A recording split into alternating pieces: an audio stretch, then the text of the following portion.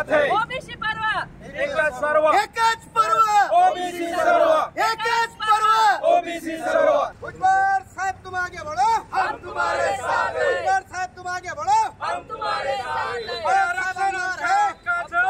नाही कुणाच्या बापाचं अरे असं कसं देत नाही। असं कसं देत नाही। भारतीय प्रजासत्ताक दिनी म्हणजे सव्वीस जानेवारी दोन हजार चोवीस रोजी महाराष्ट्र राज्याचे मुख्यमंत्री एकनाथजी शिंदे यांनी मराठा आरक्षण करते मनोज जरांगे यांना जो अध्यादेश दिला त्या अध्यादेशामध्ये असणाऱ्या सगळे सर्व या शब्दावर सर्व तमाम महाराष्ट्रातील ओबीसी बहुजन संघाचा ओबीसी समता परिषद ओबीसी सर्व वेगवेगळ्या पक्षातील वेगवेगळ्या समुदायातील तीनशे पंच्याहत्तर ओबीसी समुदायाचा त्या अध्यादेशाचा निषेध करते त्या अध्यादेशाचा तीव्र शब्दामध्ये धिक्कार करत आहे हा अध्यादेश.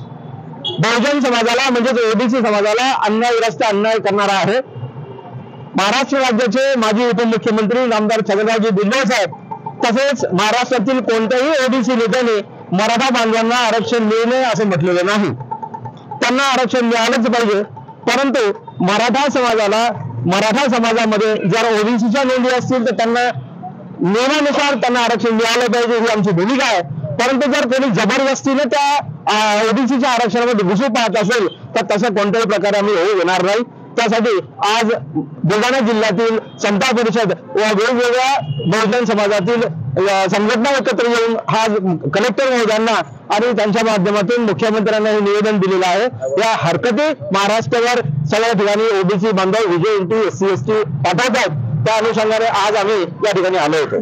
बुलढाणा विधानसभा मतदारसंघाचे आमदार संजय गायकवाड यांनी माननीय आमदार छगनराव भुजबळ साहेब यांना मंत्रिमंडळातून मला तो शब्दही घेता येणार नाही असा शब्द वापरून आकलून लावा असं त्यांनी त्या त्यांच्या बाईटमध्ये म्हटलेलं होतं.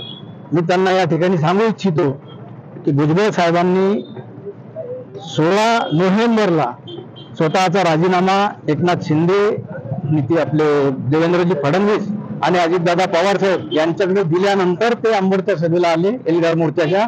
आणि भुजबळ साहेबांनी ओबीसी साठी जो त्याग केलेला आहे तो एक्क्याण्णव ब्याण्णवपासून म्हणजे ज्यावेळेस शिवसेना सोडायची कोणाची हिंमत होत नव्हती त्यावेळेस त्यांनी ती शिवसेना सोडलेली आहे. आणि सुसंस्कृतपणा कशाला म्हणतात? ते एका आपल्या वडिलाच्या भुजबळ साहेबांना आम्ही वडील मानतो. आज आमचे वडील जर हयात नाहीत परंतु आम्हाला आज आमचे वडिलाच्या जागी भुजबळ साहेब आहेत. आणि म्हणून त्यांनी आमच्या या भावनांना ठेच पोहोचवली. त्यानंतर आमच्या एका कार्यकर्त्यानं बागुल नावाच्या कार्यकर्त्यानं त्यांना फोनवरून प्रश्न विचारला. त्यावेळेस ते इतके भडकले की ती क्लिपिंग जर तुम्हाला आता ऐकवली तर तुम्ही ऐकू पण शकत नाही एवढ्या घाणेरड्या भाषेत ती क्लिपिंग आहे. म्हणून मी या सर्व गोष्टीचा या ठिकाणी अखिल भारतीय महात्मा फुले समता परिषद भटके विमुक्त ओबीसी अल्पसंख्याक दलित एस सी एस टी या सर्व समुदायाच्या वतीनं या ठिकाणी त्यांचा तीव्र निषेध करतो. आणि येणाऱ्या लोकसभा विधानसभेमध्ये जो मराठा समाजाला त्यांनी आरक्षण भुजबळ साहेबांना त्यांनी मराठा देशी म्हटलं. माझ्यातले एक फोटो मी तुम्हाला दाखवतो.